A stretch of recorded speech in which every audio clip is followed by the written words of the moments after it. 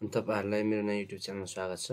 अनि म चाहिँ डेली नेप्सेक अपडेट लिएर उपस्थित हुन्छु। यो चाहिँ टेक्न एजुकेसनल पर्पजको लागि मात्रै भएको कारणले यसको आधारमा कुनै पनि कारोबार नगर्नु म अनुरोध पनि गर्न चाहन्छु। अनि हिजो चाहिँ मार्केट यस्तो फल्स भएर आज पनि मार्केट चाहिँ के हामीले होइन? अनि हामीले कति बजीसम्म लगभग एक एक साढे एक बजीसम्म चाहिँ हामीले मार्केट चाहिँ कति बजीसम्म ठक्क बाह्र लगभग एक बजीसम्म चाहिँ मार्केट चाहिँ हायर हाई हायर बनाउँदै मार्केट चाहिँ अघि बढिरहेको थियो होइन। अनि बायरहरू चाहिँ हाई भइरहेको थियो। पछि अनि केही फेरि सेलरहरू पनि हाई भएर आज चाहिँ किन्ने मान्छे र बेच्ने मान्छे दुइटा उत्तिकै थियो होइन। अनि मार्केट चाहिँ आज पाँच पोइन्ट फिफ्टी नाइन पर्सेन्टले घटेको छ। पर्सेन्टेज पनि जिरो पोइन्ट टू ट्वेन्टी पर्सेन्टले मार्केट घटेको छ। अनि हाम्रो इन्डेक्सहरूमा हेर्छौँ भने लाइफ इन्सुरेन्स इन्डेक्स मात्रै केही अलिकति हरियो भएको छ अरू इन्डेक्सहरू पनि केही गिरावट चाहिँ रातै रातमै देखिन्छ तर केही थोरै मात्रा पर्सेन्टेज मात्रामा गिरावट भएको हामी देख्न सकिन्छ। अनि हाम्रो टेक्निकल तरिकाबाट के छ त के भएको छ भनेर सरस्वती हामी हेर्नेछौँ। अनि तपाईँहरूलाई मैले हिजो पनि भनेको थिएँ मार्केट चाहिँ अब यो जुन हाम्रो छब्बिस सय अट्ठाइस सय असी र अट्ठाइस सय साठी जुन हाम्रो रेसिस्टेन्ट थियो होइन? ए सपोर्ट थियो अब सपोर्टलाई चाहिँ ब्रेकडाउन दियो यो ठुलो क्यान्डलले होइन बियर्स क्यान्डलले चाहिँ ब्रेकडाउन दियो अनि ट्रेन लाइन चाहिँ यो ट्रेन लाइनमा मार्केट बढिरहेको थियो यो पनि नि ब्रेकआउट भएको थियो हिजो चाहिँ अनि हिजो ब्रेकआउट भएपछि अनि सपोर्ट आउने सपोर्ट चाहिँ कहाँ हुनसक्छ भन्दाखेरि यो हाम्रो जुन अट्ठाइस सयको सपोर्ट थियो होइन? अट्ठाइस सयभन्दा आज चाहिँ मा क्यान्डल चाहिँ अनि अट्ठाइस सयभन्दा माथि नै सस्टेन भयो। मार्केट घट्दै घट्दै आज चाहिँ कहाँसम्म झरेको छ भने हामी बोलिङ्गर ब्यान्ड लगाएर हेर्छौँ भने बोलिङ्गर ब्यान्डको चाहिँ अनि मिडल ब्यान्डमा चाहिँ सपोर्ट लिएको हुनसक्छ कि भन्ने हामी चाहिँ देख्न सकिन्छ है। यहाँ हेर्नुहोस् है बोलिङ्गर ब्यान्ड लाएर हेर्नुहुन्छ भने यहाँनिर। बोलिङ्गर ब्यान्डको लगभग सत्ताइस सय सत्तरी पचहत्तरमा चाहिँ मार्केट आ त्यहाँसम्म आएर चाहिँ फर्केको छ है। अहिले चाहिँ इन्डिसन टाइपको क्यान्डल बनेको छ। यदि भोलि मार्केट चाहिँ यो जुन तपाईँको अट्ठाइस सय साठीभन्दा मार्केट चाहिँ क्यान्डल चाहिँ सस्टेन भयो भने चाहिँ अनि मार्केट चाहिँ हामी चाहिँ बढ्ने भनेर हामी बुझ्न सकिन्छ। तर हामी यो अट्ठाइस सय जुन आजको लो छ यो सत्ताइस सय सेभेन्टी एट योभन्दा यदि मार्केट चाहिँ तल गयो भने चाहिँ मिडल म्यानको पनि ब्रेकडाउन हुनेछ र केही करेक्सन चाहिँ हामी अझै हुन सक्ने सम्भावना हुनसक्छ भनेर हामी चाहिँ बुझ्न सक्छौँ होइन?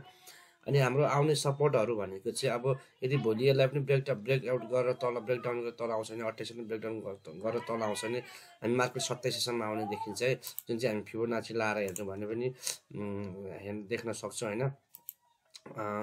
यहाँनिर फिबोनाची लाएर पनि हामी जिरो पोइन्ट थ्री इयर्ससम्म चाहिँ golden ratio zero point three इयर्ससम्म चाहिँ मार्केट झर्न सक्ने सम्भावना अनि हुनसक्छ है।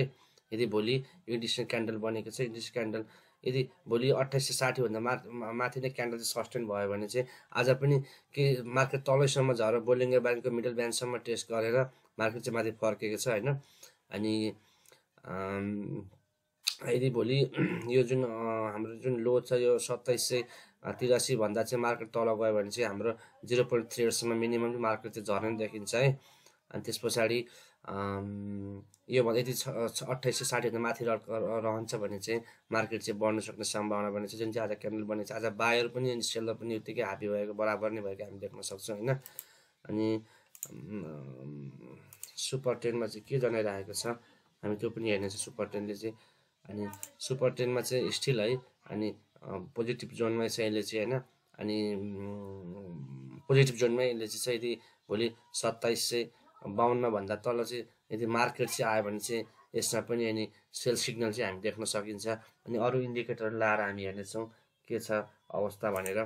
अनि यहाँ हेर्न सक्नुहुन्छ सरस्वती हेर्दाखेरि इएम फाइभ डेजको इएमआईलाई पनि ब्रेकआउट गरेर रडिसको इएमआई चाहिँ अनि केही सपोर्ट लिएर माथि फर्केको हो कि जस्तो पनि देख्न सकिन्थ्यो। अनि दिउँसोसम्म चाहिँ एक बजीसम्म चाहिँ मार्केटमा चाहिँ त्यो होमवर्क क्यान्डल बनेको थियो होइन यसरी मार्केट घट्दै जाँदाखेरि होमवर्क क्यान्डल बन्थ्यो भने चाहिँ मास्तिर जाने सम्भावना तर लास्टमा आएर सेलरहरू अनि हाबी भएर त्यहाँदेखि चाहिँ अनि इन्डिसन टाइप क्यान्डल फर्म भएको छ होइन। अनि त्यस पछाडि अरू इन्डिकेटरबाट के के छ हामी त्यो पनि हेर्नेछौँ। अनि यहाँ अर्को कुरो के छ भने अनि यो आरएसए चाहिँ पचासभन्दा माथि नै छ। पचासभन्दा माथि चाहिँ यदि आरएसए माथि नै रहन्छ भने चाहिँ अनि यतिमै खेल्छ भने चाहिँ के बढ्नु सक्ने सम्भावना हुनसक्छ भनेर हामी तपाईँहरूलाई भन्दै पनि आएका छौँ। यदि भोलि आरएसए पनि अनि माथि फर्किन्छ अनि साठीलाई ब्रेकआउट गर्छ भने चाहिँ हामी इन्ट्री गर्नुपर्ने हामी देखिन्छ। यदि साठीलाई ब्रेकआउट टेस्ट मात्रै गर्न जान पनि सक्छ।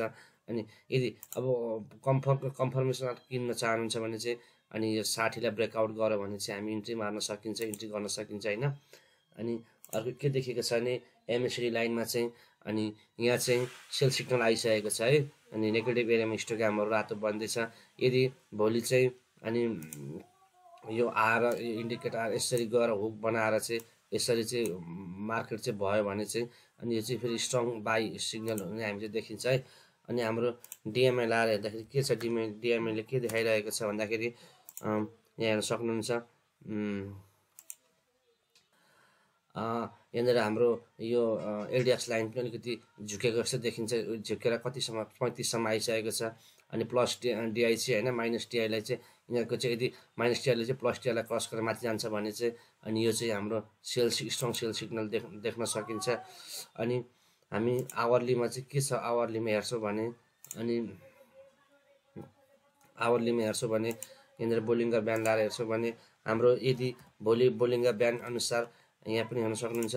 यहाँनिर हेर्नुहोस् मैले तपाईँलाई किन अठाइस सय साठीभन्दा मार्केट चाहिँ माथि यहाँ हेर्नुहोस् है। अठाइस सय अठाइस सय साठी भन्दा यो हाम्रो चाहिँ भोलि बोलिङ्गा बिहान चाहिँ आवरलीमा चाहिँ के रहेछ भने अठाइस सय पचहत्तर पचास अठाइस सय पचहत्तरको लेभल आसपासदेखि यदि यसको पनि माथि चाहिँ क्यान्डलहरू चाहिँ अनि सस्टेन गर्छ भने चाहिँ हामी अप्टेन भन्न सकिन्छ। अनि यहाँ चाहिँ केही अनि यहाँ हेर्न सक्नुहुन्छ। पहिले चाहिँ यहाँनिर यो बिहान माथि कति मिनट मार्केट बढेको थियो। अहिले चाहिँ ब्रेकआउट गरेर तल आइसकेको छ होइन? अनि बिल्डिङ भएर पनि फैलिँदै तलतिर तलतिर गइरहेको छ। यसले चाहिँ केही नकारात्मक सङ्केत हामीले दिँदछ। अनि अनि अरू के छ भने हाम्रो आवलीमा पनि हेर्न सक्नुहुन्छ। हिस्टोग्राम त केही घटेको जस्तो देख्न सकिन्छ। यदि यो भोलि एमएसटी लाइन यस्तो माथि फर्केर चाहिँ अनि म्या सिग्नल लाइनमा क्रस गरेर माथि जान्छ भने हामी इन्ट्री गर्न सकिन्छ। अनि कन्फर्मेसन साथ। अनि अर्को हाम्रो के देखिन्छ भने अरू कुनै इन्डिकेटर लाएर हेरौँ भने भोल्युम लाएर हेरौँ हामी है। भोल्युमले चाहिँ के जनाएको छ त्यसको बारेमा सरस्वती हेर्नै बिर्सिएछ ल भोल्युमले चाहिँ आज चाहिँ यसरी मार्केट घट्दाखेरि अनि भोल्युम चाहिँ अनि केही कमै हिजोको भन्दा कम आएको छ हिजोभन्दा अलिकति सेलहरू चाहिँ अलिकति विक भएको जस्तो पनि देख्न सकिन्छ। भोल्युमले चाहिँ हामीलाई त्यति पोजिटिभ हुनुपर्ने पनि छैन त्यति नेगेटिभ हुनुपर्ने पनि हामीले देखेको छैन है। अनि सरस्वती हेर्दाखेरि यही छ है मार्केटको सिनारी अनि फेरि पनि भन्न चाहेँ भोलि यदि यो जुन हाम्रो यो आजको इन्डिसन क्यान्डलको योभन्दा माथि चाहिँ क्यान्डल सस्टेन भयो भने अठाइस सय साठीभन्दा माथि क्यान्डल सस्टेन भयो भने मार्केट चाहिँ माथि जाने सम्भावना देखिन्छ। अनि त्यस पछाडि आरएसआई पनि पचासभन्दा माथि नै छ। अहिले पचासभन्दा माथि नसम्म बढ्नु सक्ने सम्भावना अत्याधिक हुन्छ भनेर तपाईँलाई भन्दै आएको छु। अनि एमएसिडी लाइन चाहिँ नेगेटिभ एरियामा अनि स्टोग्रामहरू फर्म हुँदैछ। अनि यसले यदि यसलाई चाहिँ उसले हुक बनाएर माथि जान्छ भने चाहिँ स्ट्रङ बाई सिग्नल हुनेछ। अनि तपाईँहरूलाई अनि यदि मार्केट चाहिँ घट्दै आयो भोलि पनि घट्दै आयो भने चाहिँ हाम्रो कहाँसम्म आउन देखिन्छ भने लगभग सत्ताइस सय सत्ताइस सयको आसपास यहाँसम्म मार्केट चाहिँ झर्ने देखिन्छ। सत्ताइस सयको आसपाससम्म मार्केट चाहिँ झर्ने देखिन्छ। हस्त सबैलाई नमस्ते।